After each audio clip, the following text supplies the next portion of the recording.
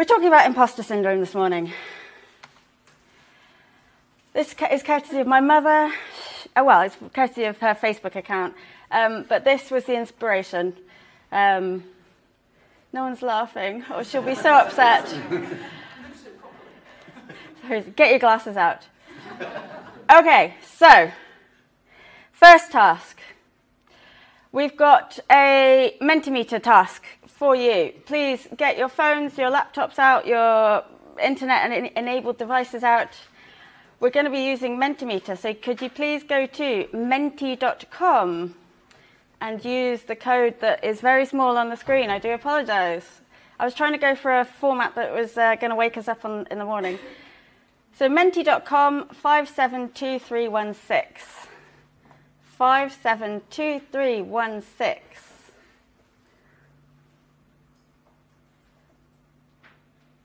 And then if Tom could segue over to the, the actual site.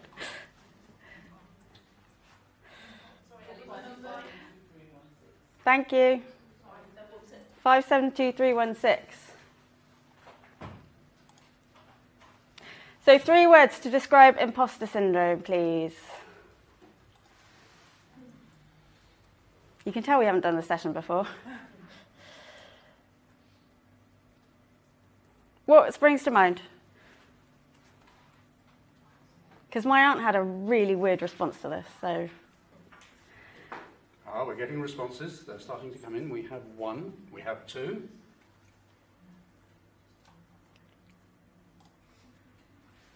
Hey, okay, right. There's 30 odd of you, so keep going. Please. What words? Anything, anything. So fraud, debilitating, authentic alien.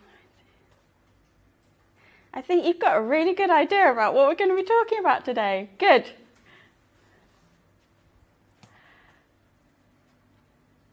This is excellent. This is like bluffing and unworthy.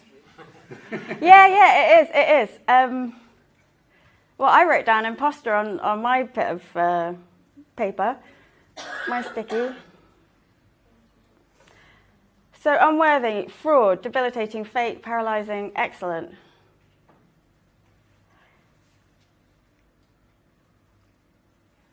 So our plan is, haha, for Tom to uh, tweet this later. Um, let's get back to the, the show because please keep going if, if ideas are still flowing. Got a stand up, sit down exercise now, please. All stand up. We're all friends now that we've done this. We've, we talked about failure yesterday. We're all friendly. We're in a safe space. Please sit down if you felt like an imposter at work in the last year. wow. Okay. Uh, okay. Didn't expect that. Please sit down if you felt like an imposter at work in the last five years. Wow, Alan, last man standing. Woo! You've been in your job too long. it may be that. Okay, so can we have some definitions of imposter syndrome, please, for Tom to write down?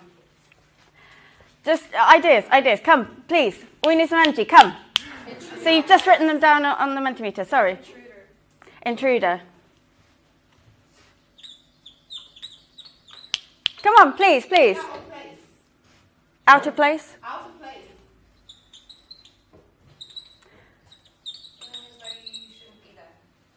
Feeling you shouldn't be there, was that? Yeah.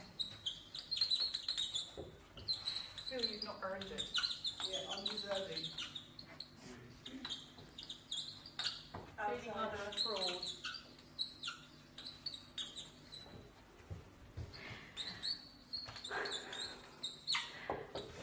Okay, so intruder, yes, out of place, feeling, I was just remembering that, that we're recording. Um, feeling like shouldn't be there, outsider, fraud. Okay, very good. Um, any more for any more, please? Astonished at the blindness of others. Astonished at the blindness of others. That's beautiful. Okay, I'm just trying to think how that, that all, all of its own. how that, that links in with the literature. Okay. So the OED definition, first of all, I spelt the word wrong, and this affected my literature search, but it didn't actually, because most of the literature spell, spells it ER. So our, the title for our session is impostor, but the OED definition is impostor. So, one who imposes on others, a deceiver, swindler, cheat, now chiefly one who assumes a false character or who passes himself, of course, off as someone other than he really is. That makes it sound really deliberate. It does actually. Actually, that, that um, yes, that's more, that's closer to what my, my aunt thought, and she's 85. Uh, she thought it was all about, yeah, pretending to be someone else. So, imposter syndrome and imposter phenomenon, the persistent inability to believe that one's success is deserved or has been legitimately achieved as a result of one's own efforts or skills. Lexicographers in the audience will note that these are drafts. So these, these, these are in progress in the OED. Uh, and doubtless this workshop could influence these definitions if you wanted to, to submit further, further examples. Thank you, Tom. You're welcome. My so Andy approached um, this kind of topic by giving his personal examples. My approach to this kind of thing is to look at the literature because that's how I'm trained. And um, yes, so the title for this slide was uh, "Even though um, it wasn't on your CV, you still got the job." So this is how this this little putty tack got the job. So from the literature.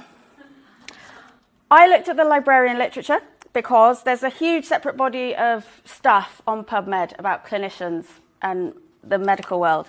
Uh, so that is there, and I had a quick look at that and went, "Oh, okay, we've only got a small uh, amount of time to talk about it." So I focused on librarians. Um, but even so, we have to talk about the phrase imposter syndrome, which uh, imposter phenomenon, which was originally coined in a 1978 paper by two psychotherapists, Clance and Imes. So the phrase indicates the belief or the feeling that one is an imposter, and it is used to designate an internal experience of intellectual phonies, which appears to be particularly prevalent and intense among a select sample of high achieving women. Women who experience the imposter phenomenon maintain a strong belief that they are not intelligent. In fact, they are convinced that they have fooled anyone who thinks otherwise. And these authors link it to the social expectations of women and the fearsome venture of women succeeding in our culture.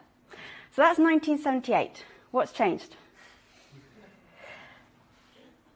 And it's a bit hard in this kind of arena to, or this particular room, to see if there was a gender divide. But um, Andy started to bring in the gender di- dimension yesterday, talking about failure, which is something we didn't think about when we were presenting about professional failure at EAHIL last year. Um, someone in the group brought that up. So, why is it a problem? Why would we be talking about it today? There's a paper from 2015 by um, someone called Faulkner who writes of the HR implications, which was up on a sticky yesterday, um, that arise if librarians succumb to this syndromal phenomenon. But uh, there's a wonderful paper from 2015 by a bunch of people uh, led by Clark who argue that the fear of being discovered as an imposter by supervisors leads to anxiety, lack of confidence, and other psychological distress, as well as demotivation, procrastination, feelings of stress, anxiety, or burnout. Woohoo! Um, these authors found little literature in 2014, so five years ago, about IP uh, and librarians, so they did their own research. They surveyed librarians from colleges and universities in the US and Canada using the Harvey Imposter Phenomenon Scale, which I can't say, along with their own questions. They had 352 responses, and they found out that, stat, one in eight librarians may be experiencing IP feelings to a significant degree. So there weren't any uh, differences in response between the genders, but as the age of respondents increased, the average IP scores decreased, and that's what's illustrated by the data in this table, just for data freaks out there. Their conclusion was that new professionals who are in the first three years of employment reported significantly higher IP scores than their more experienced colleagues. Now, I'm not sure what our stand up sit down has proved about that. Hmm. If most people sat down, uh, uh, because they'd felt it in the last year, and that would include myself. So this data would imply, though, that um, the group of newcomers into the profession is more at risk, although maybe our exercise has proved that, otherwise wrongly. So another paper, Rakestraw 2017, she made the link between imposter syndrome, perfectionism and failure, as well as the fear of failure. So her paper features this wonderful diagram um, of the imposter cycle of success and self-doubt or fear. So we've got being assigned a project or task, immediately thinking that you're going to be uh, discovered as a fraud or a failure. So you go into your coping mechanism, don't you? So I was asked to do this workshop and I've over prepared because that's just what I do. And I still can't present properly, but I am just winging it. Um, you successfully complete your project or your task, but then you, you believe that any success is because of your coping mechanism. So that reinforces the cycle. Fantastic. She also describes five types of imposters uh, as up on the slide. So we've got workaholic imposters who over prepare in the hope of achieving a perfect goal. I think that's me and quite a lot of my family. Uh, lucky duck imposters, they believe that they owe their successes to luck, not personal attributes, and believe that their luck will one day run out. That's my sister. Uh, con artist imposters who think that they're manipulating others into thinking they're better at something than they really are. Might be my ex husband. Chameleon imposters who conceal themselves so as not to attract attention to their inadequacies maybe some of my colleagues, don't know, and procrastinating imposters. Uh, so these guys put off situations in order to avoid potentially failing at something, which is something I also identify with. Right, so was, we were talking about failure last year, and I found this amazing paper about a session which was held two years ago at the Ontario, Ontario Library Association Super Conference in Toronto, Canada, at which library professionals, there were about 80 of them, uh, were encouraged to talk about their experiences of imposter syndrome, burnout, and stress. So this is uh, there's a paper by Lacey and Parlette-Stewart who wrote this really great paper about it. They link imposter syndrome to new professionals as well, as do um, some other people, Carlisle and Bulbrook, in a paper published last year about emerging librarians. So we can have a chat about that. Um, so Lacey and Parlette-Stewart say that there are three reasons why imposter syndrome can develop right from the start of your career, right in library school. Firstly, these institutions provide little guidance on how to transition to the workforce. Secondly, when new professionals start their first job, they often experience the let me show you to your desk approach, which is what I got uh, when starting a first professional post. And this is something that Faulkner describes in the 2015 paper. So you don't get adequate orientation or mentoring. I had a terrible induction plan. Uh, uh, yeah, we've improved things since then. And this leads to a demoralizing sense of isolation and pressure to succeed. Third reason, the lack of clarity in the scope of one's position, and that comes up time and time again in the failure literature. Feedback, another recurring theme. So Lacey Parlette-Stewart report that the participants of their mega workshop also described a lack of consistent and constructive feedback in their professional careers. Uh, so one quotation from the Clark et al. survey. I know objectively that I'm good at my job, but I get little to no sincere feedback from my supervisor. This makes me question if my work is really valued by my institution or not. Uh, so, uh, yeah, another theme in the literature is the link between starting a new role as a leader specifically a leader, or starting a new uh, position, uh, because this leads to lack of confidence in one's abilities, um, which can be isolating. And this can also hold us back with projects and with self promotion because we are really good at downplaying our professional abilities. On the flip side, some other people who I've referenced at the end, uh, Ramsey and Brown, remind us in a paper published last year that we have a duty to help students who are experiencing imposter syndrome by encouraging them to find mentors and like minded allies, building their confidence with information literacy skills, and creating inclusive atmospheres. Okay, so I'm going through this very fast. What can we do about it? So I picked out some solutions in the literature for new professionals. So Clark et al. from 2014 recommend that supervisors look out for new librarians, offer support, and they highlight the importance uh, for individuals of reporting all positive feedback And this point is reinforced by many key authors, uh, stemming from Clance et al.'s, uh, Clance and Imes paper, original paper. So right from 1978, we're being told, record your positive feedback because it'll make you feel better um, and give you that, that sense of self-belief. Lacey and Parlette-Stewart refer to the lack of guidance from the library schools about transitioning to the workforce. So this is something that we can think about and be aware of, uh, providing those decent inductions, as well as cl providing clear remits and job descriptions for all staff with obvious indicators for success. For all professionals, so as lot, so Clance at Imes um, offer their therapeutic uh, approaches as solutions. So they obviously they're psychotherapists, so they talked about, or they recommend talking about your feelings, sharing your feelings with others. They also recommend role play activities, which we did not think we'd try today. Um, and that's a recommendation that other authors make. At the Ontario Super Workshop, when uh, participants were linking this syndrome to poor feedback, so that's another area to develop and improve on, consistent and constructive feedback uh, for everyone. And they also have a bunch of affirmations. There's a beautiful appendix which uh, has lots of different solutions. So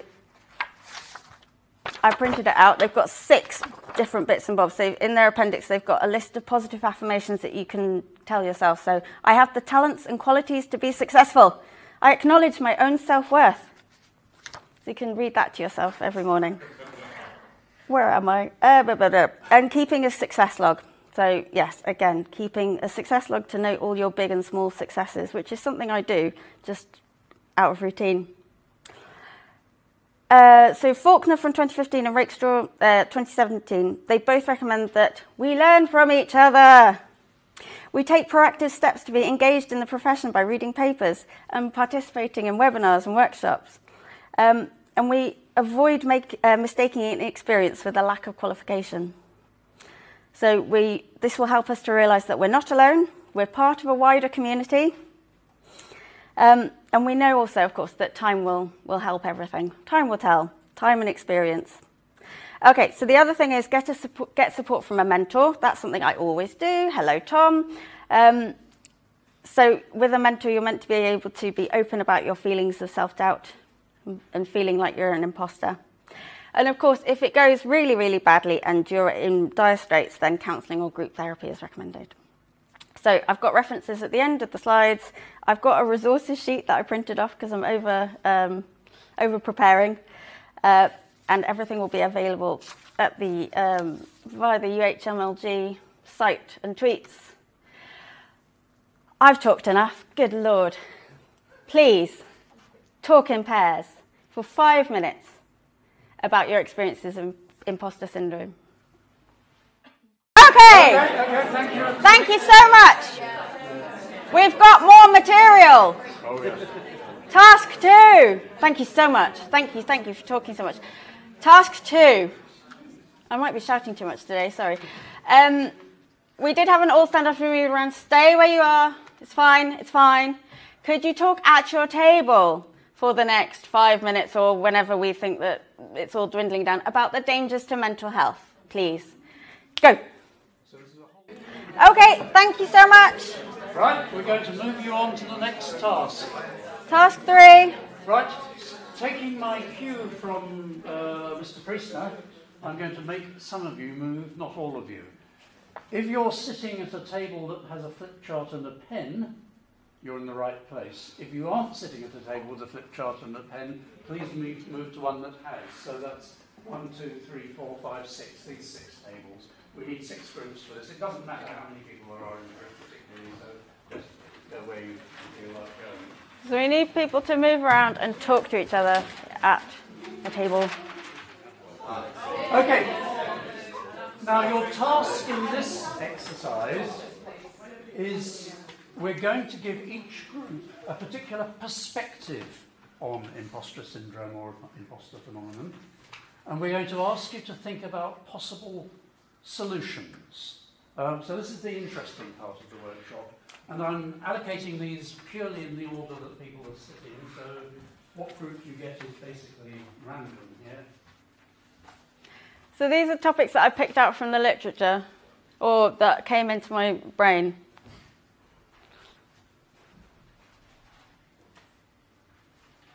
And because you've got a flip chart and a pen, you may have guessed if mind, to record what you say.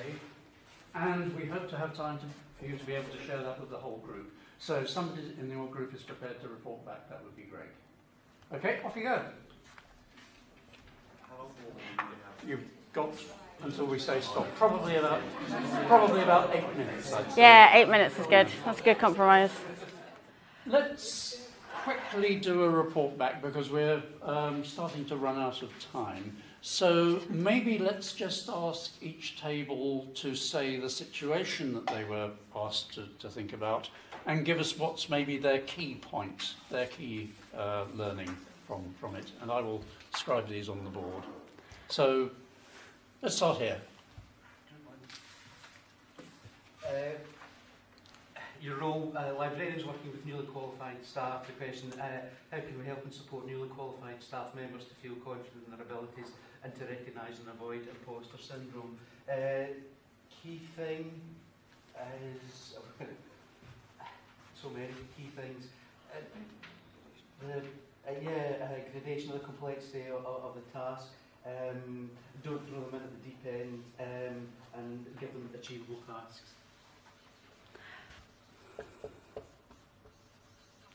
New librarians. Ah. We like achievable tasks. That's very fair. Okay. Complexity. Let's at the deep end. Okay, the role is uh, managers or mentors. The question was, how do we invite, supervise, train, support new staff members to feel confident in their abilities and to recognise and avoid imposter syndrome? So, really, we thought a clear induction plan so people know what they're doing and, and how the role benefits the organisation so they clearly understand where they they're. That is something I hadn't thought about. Um, one, one of the group mentioned about they had when they started somewhere there was a presentation on imposter syndrome for new um, students. So everyone might feel that, and it's common, and everyone's in the same boat, which really good. Um, starting off small and building up with a task, giving a clear remit, training, mentorship schemes, um, and peer support and regular feedback from your manager. You're amazing managers. Okay. Wow. Splendid. Moving on. Group three, describe the situation you were thinking about and your main solution. So your role, someone taking on a new role, say first management or supervisory position, similar, and the question was, how can individuals like me be aware of and avoid imposter syndrome? And I think most of what we talked about brings it down to retaining a sense of perspective, or as Alan puts it, uh, consider that today might be the day you die. So how bad can it be? all about stoics. So yesterday was no one died. And today it's today I might die. So what the hell? Let's just have perspective on new job, new life. Good. Okay. Thank you, Marcus Aurelius. um, group four. So our role is librarians serving students, faculty and clinicians. And the question was, how can we help students and staff to recognise and avoid imposter syndrome? So we talked about lots of ways we might be able to address this. I think probably the one to start with would be to run a kind of uh, bite-sized session. Um, do you feel like an imposter in the library?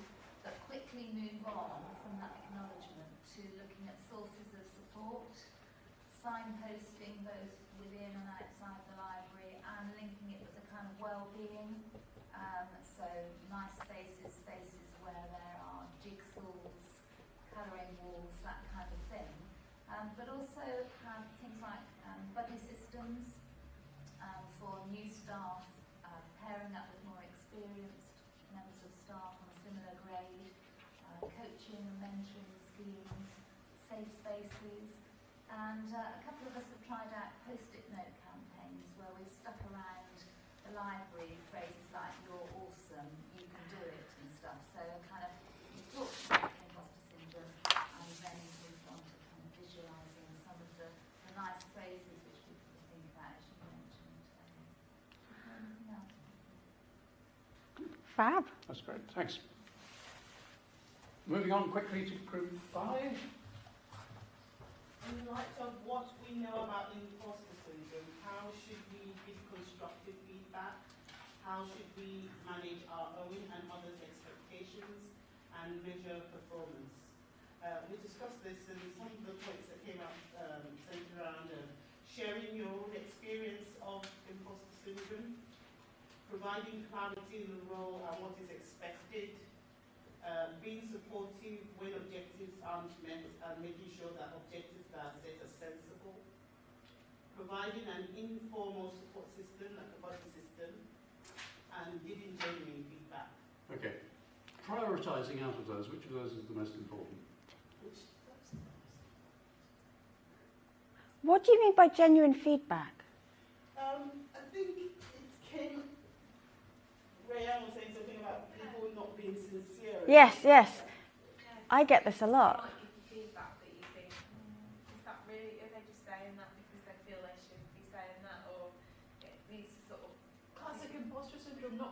when you're being told you're good. But, but also, we, it's we've all had it when someone says, oh, you're awesome, you're great, and you do not Not believe a word of it, because you know they're lying. Oh, I think the methods of giving feedback isn't there. You've got to be specific. You can't just say someone was great. You go, well, why, why were they great? Or someone didn't, I fell a bit short. Well, what could you do? Right, so specific feedback. I think they do that in parenting manuals as well. You did that really well, clearing up your bedroom, whatever, whatever. Yes, using it as an, an example makes it genuine. And then that, yeah, it's more measurable. Authenticity. Authenticity, yes. Okay. And finally, group six, your, your main point, please. You had a tricky one. It was Yes. oddly worded. Sorry. Um, our um, context was our job roles are often ill-defined and will change. How can we set reasonable professional goals knowing what we now know about imposter syndrome? So we talked quite a bit about um, job descriptions and how, especially where I work, it's like a historical job description that hasn't changed for 12 years um, because the process of changing a do- job description is so complicated that why would you do it? Um, so we've talked about having more clear clarity in a job description, but also the flexibility to make changes so that it's not too prescriptive, Yeah, not too woolly yeah. as well, so that know what you're doing, because then that allows you to measure whether you're doing it well enough. A clear job or description. badly, Mhm, mhm. Is that new job description or is that now a review of progress? Does it have to be in the job description? Or is it Does it have to be in the job description? Let's let's um, on that note. Drama. We've got a last Mentimeter task, please. So now that we've talked and talked, three words again to describe imposter syndrome, imposter phenomenon. So the code this time, five five five three three six. Which is a bit too close to my mother's phone number for comfort.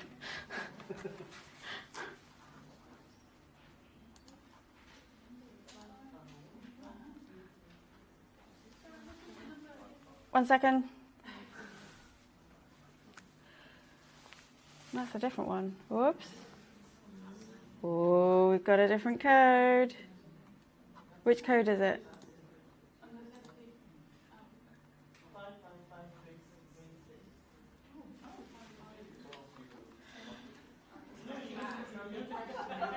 One second, so sorry. We're always going to have technical problems.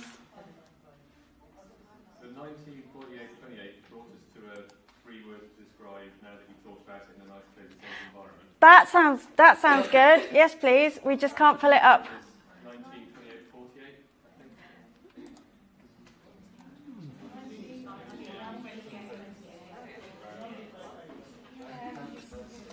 We may need to enter some words. We'll display this later on. Let me write that one down. 1928, 48.